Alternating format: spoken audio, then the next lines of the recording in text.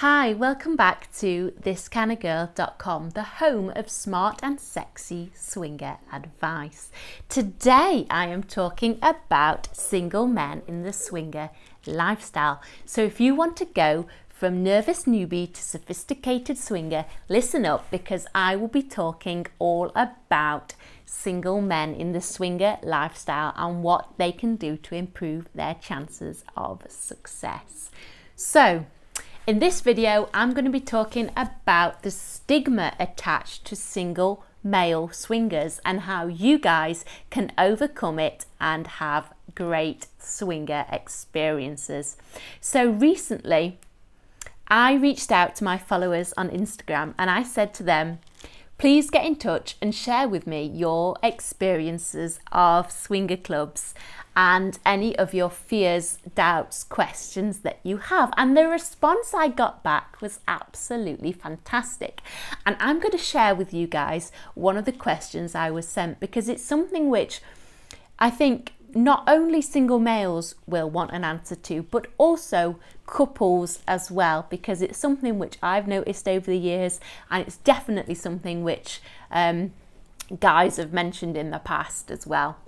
Um, and also club owners have, have said to me as well, like, what can we what can we do about these things? So I'm going to read out the question, okay?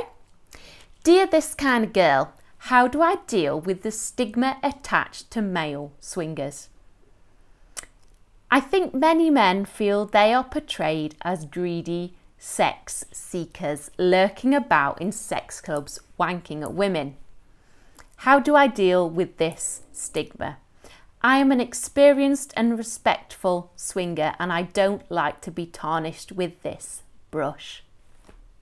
So I'm sure you can relate to this question. I certainly have experienced guys who are like this um, in clubs I've been to and sometimes also some club owners have said to me like, why do guys act like this when they get in here?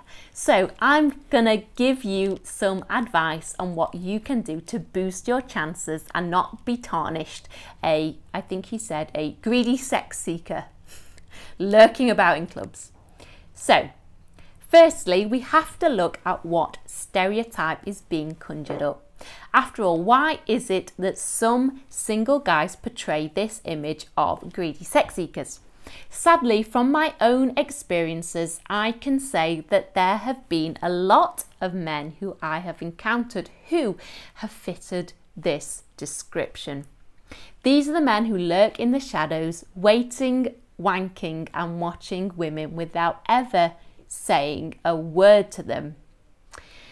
If you act like this, I'm afraid you will fall subject to being labelled a creepy, horny sex seeker. It's these men who sadly have given genuine single swingers a bad reputation. And unfortunately, these guys are all too common. Now, I find it quite baffling why they, because getting to some of the parties is quite hard for single guys. So, when they've got in there, why don't they boost their chances of success? I know that not all single men who act like this um, you know, I know that not all single men act like this, okay? I know that not all single swingers act in this way and they don't deserve to be tarnished in the same brush. So, how do we change this stereotype?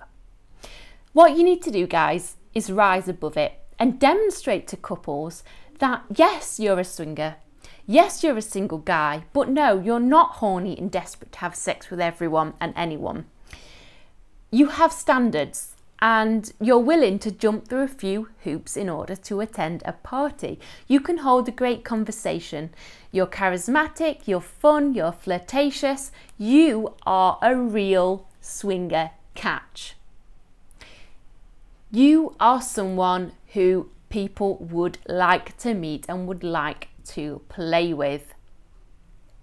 You're never going to be caught lurking outside a curtain furiously wanking because you don't need to, because you are already involved in the action.